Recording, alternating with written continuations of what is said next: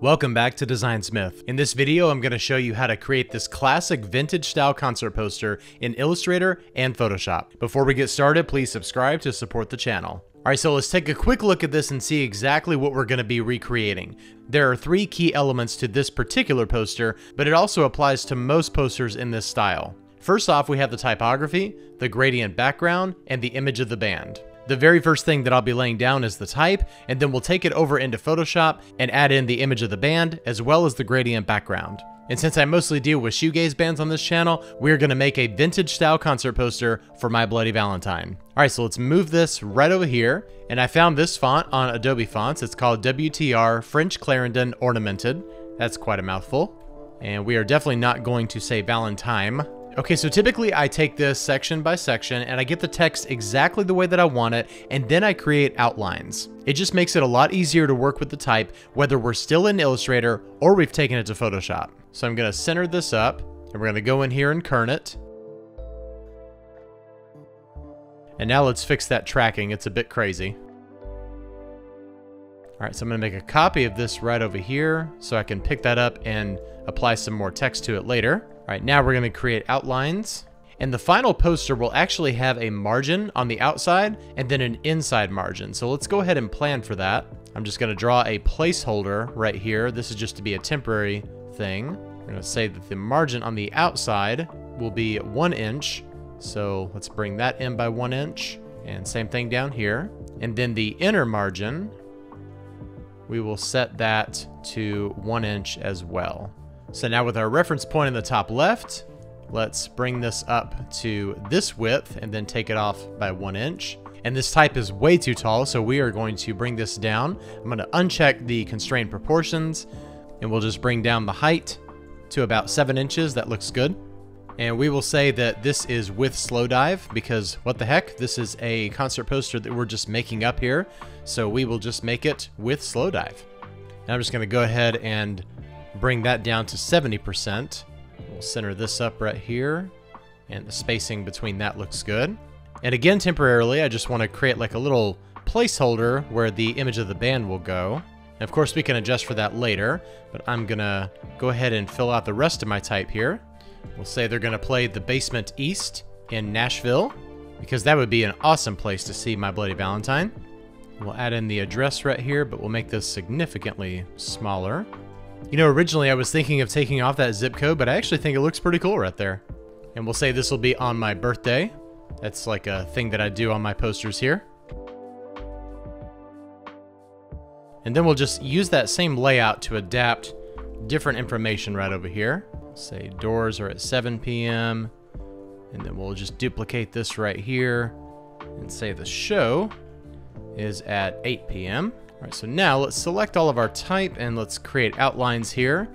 I'm gonna go ahead and group these little sections together to make it a little bit easier to work with just in case I wanna move anything. Okay, looking good. So now what we'll do is we'll set some actual spacing in between all of these elements right here. And I'm going to align all of these with each other.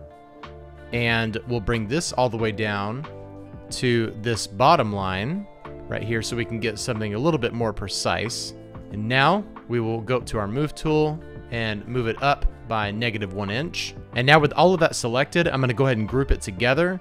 So that way we can very quickly distribute our spacing here. Remember, we're not working with a grid, so it doesn't really matter what we're aligning to. All right, so here's our overall structure of this poster, and we've already got everything laid out in Illustrator. We just have to take everything into Photoshop and finalize all of the effects and the image. So I'm gonna go ahead and swap this over to a fill, and I'm gonna hit copy. And I have my document set up as 18 by 24 at full 300 resolution. And we're gonna paste that black rectangle that we've got in here, and that's actually gonna be our gradient background, and we'll apply that here in just a minute. All right, now we can go in and delete this one, and now I'm going to select everything, hit copy.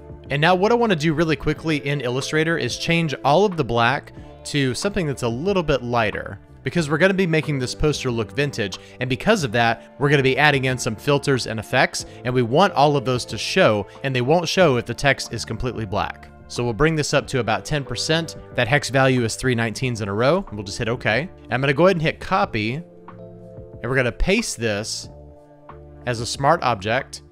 And just for now, we can leave it exactly the way it is. I'm gonna go ahead and turn this background off so we can see this very easily. And I'm gonna go back in here and deselect that black rectangle.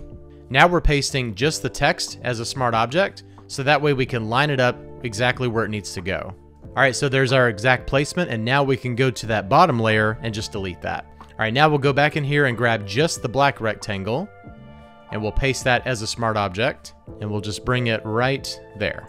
All right, and now we can delete this bottom layer. So now we have our type and our black rectangle on separate layers.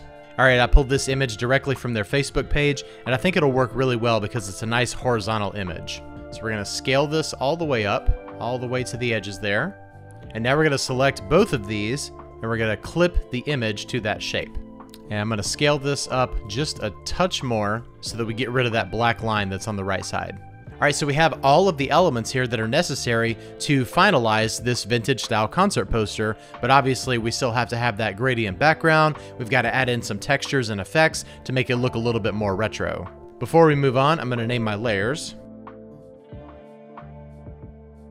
And I'm going to go right here to the background and add a solid color layer on top of this. And just like I said earlier, we don't want this to be 100% white, so we're going to bring it down to about 90%. And now we're going to double click on our gradient background, and we're going to go here to gradient overlay. And you can already kind of see what's happening here, although I'm going to go in and change these colors. And just to make it easier, we're going to reference the colors in this poster.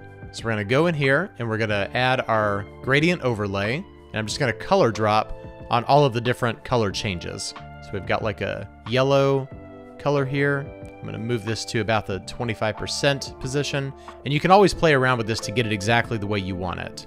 We'll go up here to like a kind of a green type of color. Then we're going to end with this blue right down here. And now let's uncheck reverse and that'll get the colors going in the right direction. All right, we could just delete that Crosby, Stills, and Nash one. Okay, so you might be looking at this and thinking, all right, we did it, we're done. Not quite. If you zoom in on this, you see we've got a couple of issues here. First off, we have a grainy photo of the band, and that's contrasted with a cool gradient background, but the background doesn't have any of that grain, and neither does the type. So we need to make this look authentic, and I'll show you exactly how to do that. The first thing we're gonna do is add in a new layer, and I'm gonna call it grain. And now we're gonna fill it with 50% gray. And now we're gonna go up here to filter and camera raw filter. And we're gonna crank up the grain pretty high. And I'll bring up the roughness to 75 and the size up to 50. And now we can hit okay. And now let's zoom in and you can kind of see the fineness of that grain that's right there. And now we're just gonna change the blending mode to overlay. So right up here, this is a perfect example. We have a background that's not pure white and type that's not pure black. And you can see that grain effect directly overlaid on both of those objects. However, I want to add even more authenticity. So I've got this really cool dust and scratches folder in here, and we're to grab this one, and let's bring this on top of our image right here in Photoshop. I'm to zoom all the way out, and I'm to put this layer underneath the grain layer, so that way it's affected by it. And now I'm to center this up right here, and we're to rotate this, and now bring it all the way to where it's covering the entire poster. I'm to enlarge it just a little bit more so that it goes beyond the bounds there. Okay, so we're zoomed in on this and you can see all the dust and scratches here with this really cool black background. And you can get a good sense here of what we're going to be applying to the overall poster. So I'm just going to cycle through the blending modes here and see which one I like best.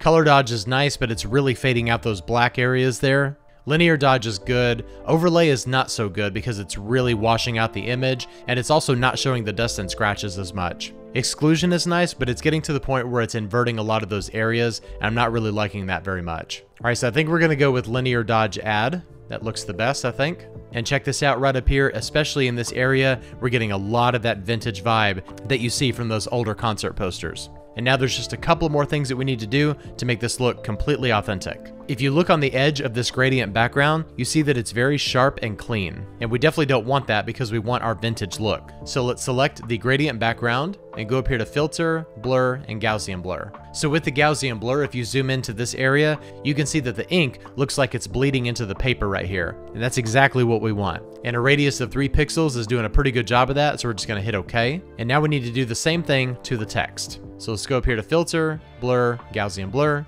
And 3 pixels is looking pretty good, although this is a large block of type, we need to make sure that it's looking good even with smaller blocks of type. And I'd say that it is, especially looking here at this little Tuesday right here, although we might bring it down to like a 2 pixel, and I think that that works just as well, and it makes the small type a little bit easier to read. And now we need to do the exact same thing on the photo border. When you're doing this, you want to make sure that you're not selecting the photo layer, we need the shape that's actually holding the photo. So go up here again to filter and Gaussian blur, and 2 pixels is looking great right here. We've got nice variation of ink bleed rather than a clean line. Alright, and now the last thing that I want to do is make the overall type fade a little bit more into the background to really give it that look that the type has faded over time. So we're going to double click into the all text layer, and now we're going to go down here to the blend if section, and we'll leave this selected at gray, and I'm going to go down here to this underlying layer and hold down my option key on Mac and my alt key on Windows and we're just going to drag this over until you start to see it starting to fade. We don't want it to go completely like this over here.